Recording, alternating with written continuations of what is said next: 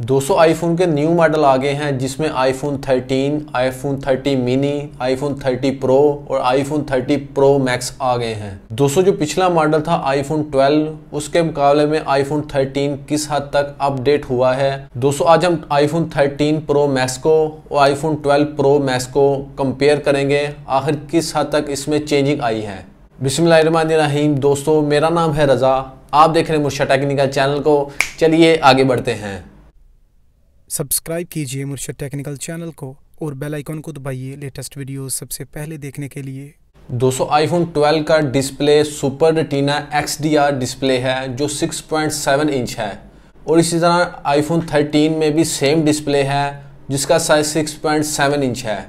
इसमें कोई चेंजिंग नहीं की गई। सेम जो आईफोन 12 का डिस्प्ले है आईफोन 13 का भी डिस्प्ले सेम है। दोस्तों इंटरनेट को देखें तो आईफोन 12 में भी 5G सपोर्टेड था आईफोन 13 में भी 5G सपोर्टेड है। दोस्तों इसमें भी कोई चेंजिंग नहीं की गई, ये भी सेम टेक्नोलॉजी है। दोस्तों अब बात की जाए वीडियो रिकॉर्डिंग की तो आईफोन 12 में भी सेम अल्ट्रा वाइड एंगल था और आईफोन 13 में भी सेम ही इसी तरह वीडियो रिकॉर्डिंग होती है। लेकिन आईफोन 13 में एक नया फ़ंक्शन डाला है, जिसमें साइनमेटिक मूड है। दोस्तों, इन साइनमेटिक मूड के अलावा इसमें कोई चेंजिंग नहीं की गई। दोस्तों, अगर कैमरे के जूम की बारे में बात की जाए तो आईफोन 12 में 5x जूम था और आईफोन 13 में अब 6x जूम है।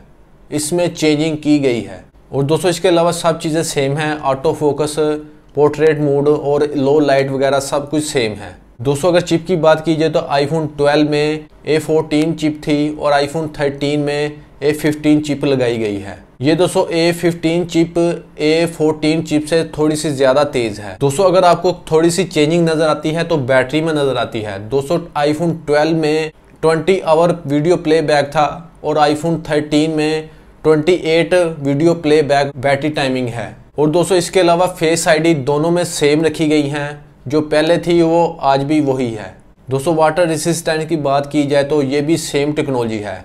अगर आपका मोबाइल 6 मीटर तक पानी में पड़ा हुआ है और 30 मिनट तक इसको कुछ नहीं होगा। और इसके अलावा दोस्तों, आपको वायरलेस चार्जिंग दोनों में दिखने को मिलेगा। इसमें भी कोई चेंजिंग नहीं की गई। दोस्तों, इसके अलावा मेमोरी कैपेसिटी की बात की जाए तो आईफोन 12 में एक जी से लेके 512 जीबी तक आपको कंपेसिटी मिलेगी।